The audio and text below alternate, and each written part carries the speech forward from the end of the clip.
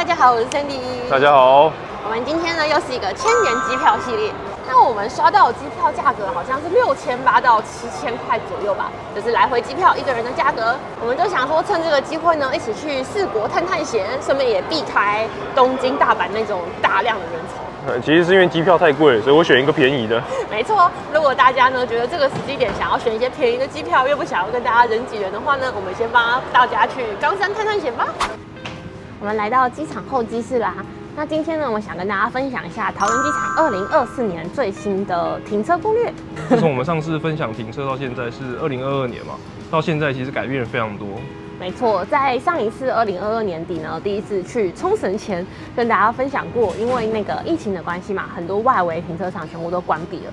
那那个时候呢，是跟大家推荐说，可以在桃园机场的 P 四停车场提前预约，那费用会非常便宜，就是一天两百五十块。但是呢，这次我们就发现啊，因为旅游复苏的关系，所以附近的停车场都已经渐渐恢复喽，所以就发生了什么事？对，P 四停车场现在变得超贵啊，它就涨价了。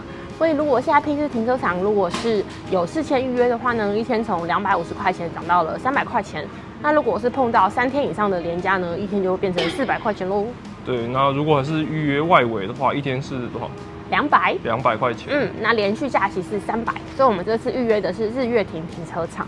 那我刚刚有跟那个日月亭的人询问一下，说有预约跟没有预约的差异。这个地方呢，价钱是一样的，只是过呢，它可能会有一区是保留车位。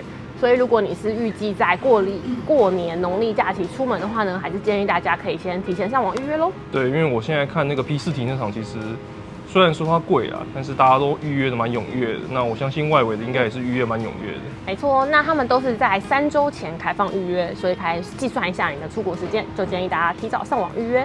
啊，另外再提醒一下，因为停车场外围嘛，毕竟需要一些交通时间，所以建议大家还要再多抓半个小时的时间，比较安全喽。对，因为现在机场人变超多的。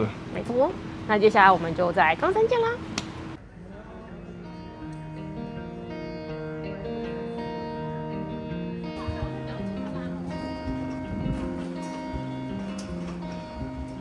提醒大家，刚开国门的时候使用到的 VZ Japan Web 现在还是可以使用哦。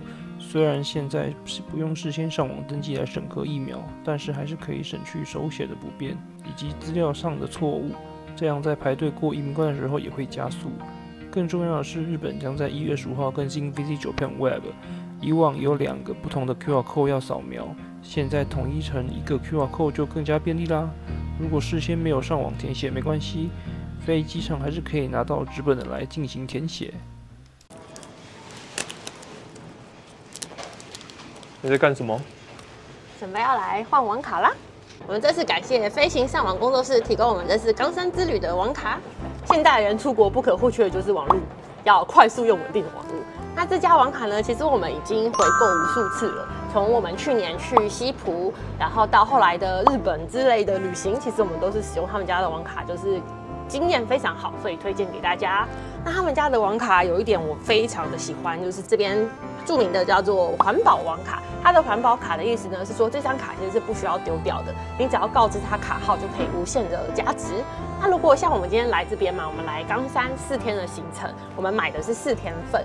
但你要临时增加行程啊，或是你甚至要临时飞到国外去，你要去韩国或去去哪里，你只要透过他的 LINE 官方账号跟他通知，然后再充值的话呢，就可以直接飞到国外去喽。无限加值不只是这一次哦，如果你过了两三个月后还要再出国，你也可以再通知他们，但前提是你这张卡要保存好。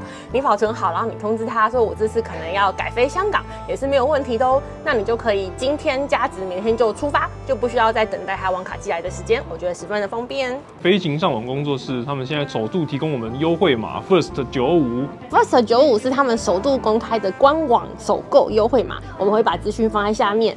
那除此之外呢，他还额外提供我们三份三百元的全额抵用金，所以你只要在下面留言，在这个影片下面留言就有机会冲中喽。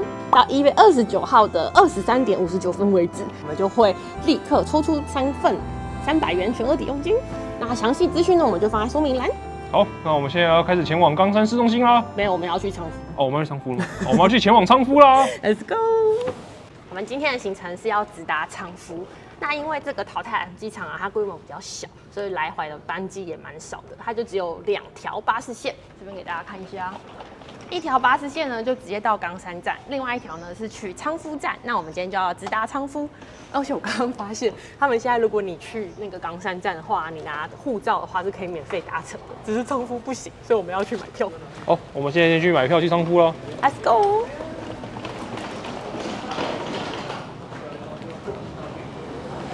我们买到来去仓敷的车站的车票了。那要来这边，就是在车一样是在后车厢的外面，这边有一个那个售票机。现在售票机超可爱，它不是电子式的，它很像吃拉面那种售票机。它这个是这样可以按压式的、哦然后它就是钱先放进去，那你就按你要几张票，而且连这个几张票都是按压式。我刚刚一直要尝试按它的荧幕，但它荧幕不能动。你现在这个，你这个现代人，对，它是按下面这个按钮式的，然后最后再按这个一千五一千一百五十块就会出来两张票啦。但是呢，我们跟大家看一下时刻表，哦大家看一下时刻表。因为呢，他们这边的班机比较少，所以它其实有国内航班跟国际航班。那你要往冈山车站的话呢，车次是比较多的，就是这边冈山站的班次看起来是比较多的。然而且他这边写，你看这边满席就出发嘞。对，所以它不止不一定是只看着上面的出发时间，它只要满了就会出。OK，那个爷爷一直怕我走错地方，他在跟我讲。那反正如果你要去冈山的话呢，除了那个可以看它的时刻表之外，它只要坐满了就出发。那我们现在是因为我们要今天晚上住在仓敷嘛，我们就一定要先去仓敷。那仓敷的话呢，它要到四点十分才有一班车。我们现在时间是三点多我们三点二十分而已，我们还有将近五十分钟的时间，我们去里面的便利商店逛逛。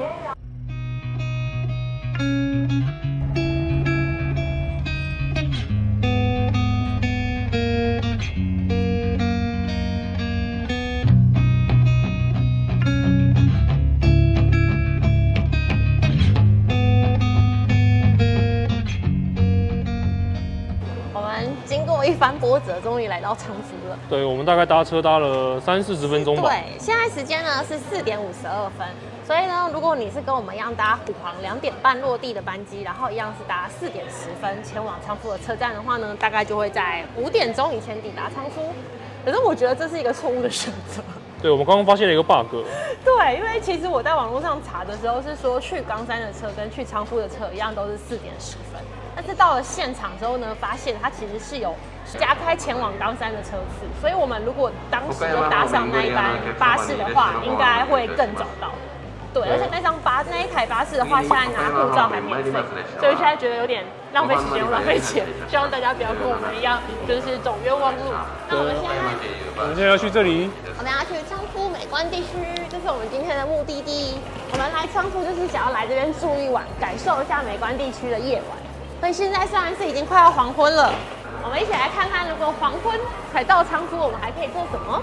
好像听说商店街大概五点多就关了，那我们是打算明天白天再好好的逛商店街，今天就享受一下夜晚的气氛。我们往这个商铺美观地区跟商店街的方向前进，我们就住在市，中心哦。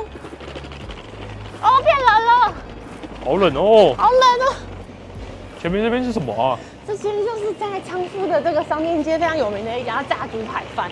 听说如果你是白天啊比较热门时段来，都要等一个小时以上，它开到晚上七点。我就想说，我们晚上来，虽然商店街都关了，应该是不太容易吃到猪排吧。看看需不需要先抽号码牌登记。我们快步走到我们饭店，大概花十分钟左右吧。现在是在昌敷美观地区的正中心，然后我们的饭店呢，就是这一家美观堂跟隔壁很有名的有灵烟赖生鸡蛋饭饭跟昌敷有名的布丁的店的正楼上。正楼上，所以我们是住这哦？对他跟我说他们没有 check in 的柜台，你要跟这两间店的店员讲。我先去跟他说一下。嗨，跟大家介绍一下我们今天在昌敷的饭店。对，我们刚刚 check in 好的，没错，它就是两家商店的楼上一个房间，所以它只有一间房间哦。这是一个民宿，大家可以进来看一下，超级可爱的。它真的只有一间，所以他说我们整个晚上就只会有我们。然后楼下呢会有一个私人的厕所，大家大家看一下。走进来这边就是一个玄关区，有一个小小的像吧台一样的一个木质的吧台，我觉得好日本哦。对，而且它整个走进来榻榻米味道超香的。对，他说他们是新换的新的榻榻米，所以味道非常的香。然后这边呢，帮我们准备好了水，而且还有很可爱的这个保温壶，外面还有穿衣服，对他们保温壶穿衣服，很可爱。然后它的选物啊，我也都觉得蛮可爱的，杯子啊相关的，啊上面有个迷你的小冰箱，还有毛巾，然后甚至呢，他还有准备就是不同 size 的，就是他们叫什么睡衣嘛？睡衣。他刚刚看到了我们的身形之后，才帮我准备的。没错，这就是我们两个尺寸的睡衣。然后转过来，这里就是它的榻榻米区域，这边是客厅区。客厅区除了有一个地板上可以坐着聊天的榻榻米区，还有一个朝向昌夫美观地区老街的一张桌子。这是他刚刚帮我们准备的，我们的 Welcome Drinks。这是桃子屁股杯，它的屁股，它是桃子屁股，然后里面就是桃子果汁。港餐最有名的就是桃子果汁。哦，哦，好浓稠哦。他跟我说这是全部都是果汁，他没有去稀释。超浓的哎，很像真的是吃一口水蜜桃，然后在嘴巴里面咬碎那种口感。这个桃子屁股果汁啊，在他们隔壁楼下的那个有林烟是非常有名。那给大家看一下我们的房间，它这边还有一个小的橙色瓶，里面都是有一些杯子器具，应该是都可以用啊，就是大家要自己小心，不要帮人家摔坏了。然后走进来，这就是我们今天的床位，他已经帮我们铺好床了，感觉超舒服的，毛茸茸的。哎它质感好特别哦，它外面这个有点像棉麻还是麻棉麻的材质哦，这是棉麻感，对，棉麻感。然后里面呢还有一个毯子，怕冷吧？现在温度大概是零到十度左右。对我早上我们刚到冈山机场觉得还好，但是现在真的有一点冷。我觉得这个民宿很可爱耶，只是晚上的价格是比较偏过一点点，因为它毕竟是在仓敷美观地区，就是正正式中心老街区。一个晚上大概是六千块台币左右吧，但是它楼下的厕所也很可爱哦，而且还有私人浴缸。对，我们晚点带大家去看。那现在是五点多，现在时间是五点半。那我们想说跟大家分享一下，如果你也是五点半抵达，那在康夫所有老街上的店都关了的情况下，有什么事情可以做？首先呢，我们要来先去吃大排长龙的炸猪排店。我想如果晚上没有什么人的话，应该会不用排那么久吧。好，那我们先去吃晚餐。好香啊！我们商夫商店街有名的昌夫馒头，哎，它原来馒头是车轮，对啊，它是车轮饼哎，根本不是馒头。好香哦！嗯，黄豆口哎。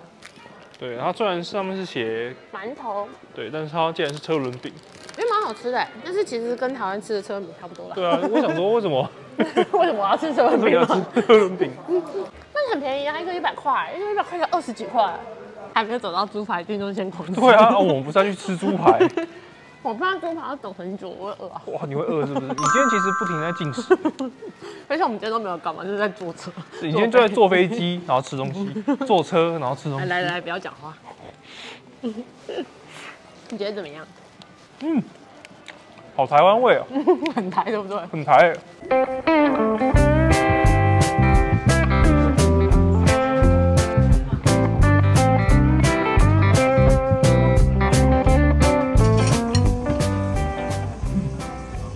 终于进来那个炸猪排店，然后猪排也都到了。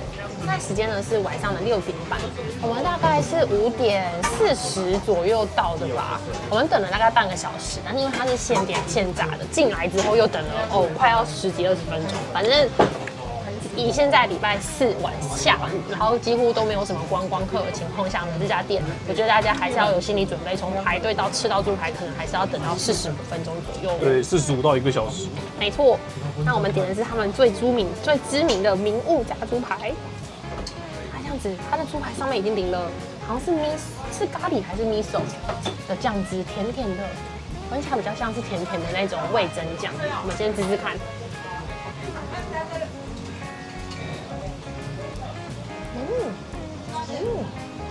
味增酱。然后它虽然淋了蛮多酱的，但是因为它刚刚现炸好才淋上去，所以目前还是吃得到脆脆的口感。怪不得就是连当地人都愿意花那么多时间来这。嗯，其实我觉得蛮多当地人会来吃的。嗯，只是它的尾韵有一点猪味，我再吃一口看看。嗯，嗯，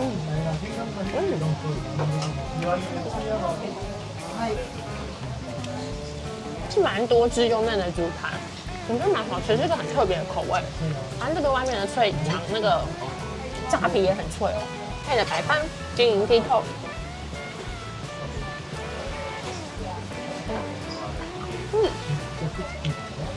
嗯，我觉得白饭煮的有一点点偏软，对，它的白饭有点太软。嗯，有点太软，没有那么喜欢。那这样一份猪排啊，跟饭，然后再配上一碗味噌汤，是一千六百块日币。他们这家店是只收现金的哦。一千六百块的话，大概三百五。然后另外啊，我们点的另外一份是一个套餐，它还有除了它这个炸猪排是单点，可以另外配套餐之外，它还有 A、B、C 三种套餐。那我们今天点的这个套餐呢是汉堡肉再加上鸡排，我先试试看它的汉堡肉。哦，切面很漂亮哎，但很像自己买角落回来，就是看起来就是自己做的那个汉堡肉。嗯嗯嗯，汉堡肉里面真的超多汁的，好特别哦！这汉堡肉我没有吃过这种口味，它有点偏甜，然后里面的香料味也蛮香的。那我们就继续吃，然后吃完之后再跟大家分享一下，我们觉得这家卡爸炸猪排名店怎么样？然后以及再稍微再晚一点的话，还可以去哪里？看你这个厨子卷，玉子看起来好好吃。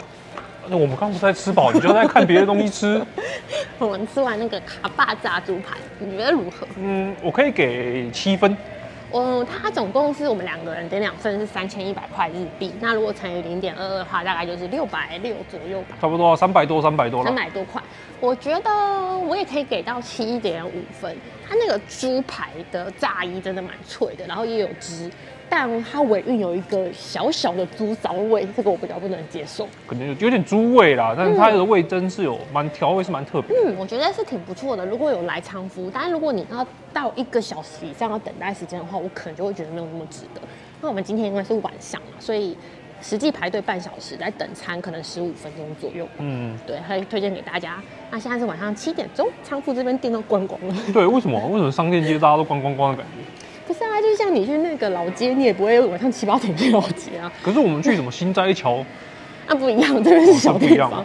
那我有次有查到昌福车站的后站有一个 outlet，但它也只开到八点。想说我们先去看看还有没有东西可以逛，然后在晚上的时候呢，回来的路上呢，我们可能就去看看人家昌夫的那个川昌夫川旁边，晚上会打灯打到九点钟，那个风景怎么样好，？Go！全台湾都有，小时候最爱吃的，现在台湾全部都关光嘞。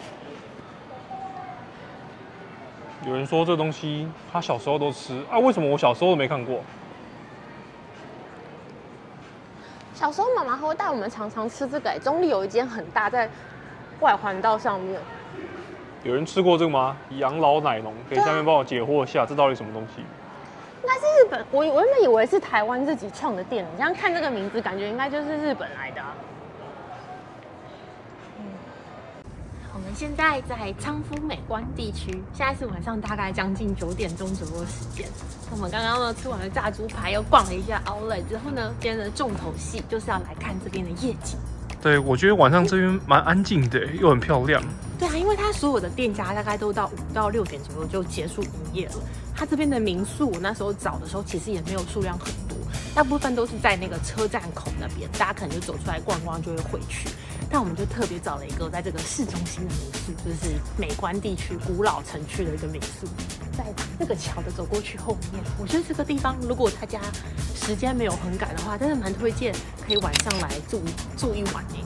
然后民宿的那个就是服务员跟我们说啊，明天早上是在那些观光客还没有涌入的时候，他非常建议我们可以在河边走走看看。现在晚上是打灯的样子，然后明天早上呢应该会是不同的风情。对，因为现在其实只有这个地方比较亮，剩下地方其实都暗暗黑黑的，用眼睛才可以看到漂亮你是。用眼睛把那个美丽的样子保留住，就影片拍不太出来，我们再补一些曝光后的照片给大家看。然后你看这边就是他们的船，仓库这边可以乘船，它现在船就是放在这个地方。然后呢，我你现在的位置的正后方是他们的那个活动中心，就是你要去活动中心买船票。但我有研究了一下，好像我们冬天来，它船是只有在假日才有开，所以明天是周五，可能我们就没有办法搭到船了。但但我们明天还是来这个活动中心、呃游客中心，对，游客中心看一下到底可不可以搭船我。们来碰碰运气。那我们从这个地方走回去，就回到我们的饭店。我们饭店的一楼，它左手边呢是刚刚看到那个纪念品店的一楼，然后走进来呢，这边就有一个私人的浴室，给大家看一下。进来之后呢，左边是一间厕所，看一下，它是水泥地坪哎，那它就是标准日本就是这样，厕所归厕所。哦，然后里面一样有这个小的洗手台，里面好香哦，它有用很香的那个精油。然后呢，走进来之后呢，这边要脱鞋，我先脱一下鞋。它要给我们拖鞋，就是你可以穿下来的。哦，有洗衣机，有一台洗衣机，然后洗手的洗发精什么都很完备。我看一下，还有备品，它连洗面乳都有哎，一般通常都不会敷洗面乳的。它备品好好好丰富哦，洗脸的、洗面乳的，还有 massage。然后呢，再往内，给大家看，它有一个浴缸。对，中间有一个很传统的浴缸对，而且他说这个浴缸呢是没有塞子的，他们自己做了一个这个塞子，你要把它塞进去。而且我刚才发现它不是这样正塞，它那个出水孔是在侧边，你要这样侧塞进去。然后这个就是一个浴缸，然后淋浴间还不错，很干净，而且只有我们一组客人，所以只会有我们使用，对，不会有别人。还不错哎。而且我觉得它备品给的真的很丰富，喜欢。好，我们待会来洗洗澡，然后早点休息。明天早上要一早起来拍仓敷的晨间的样子给大家看。好，那就跟大家说晚安啦，大家晚安。拜拜。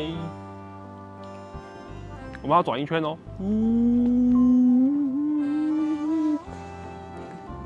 还太多圈了，不行，我会跌倒。我的我。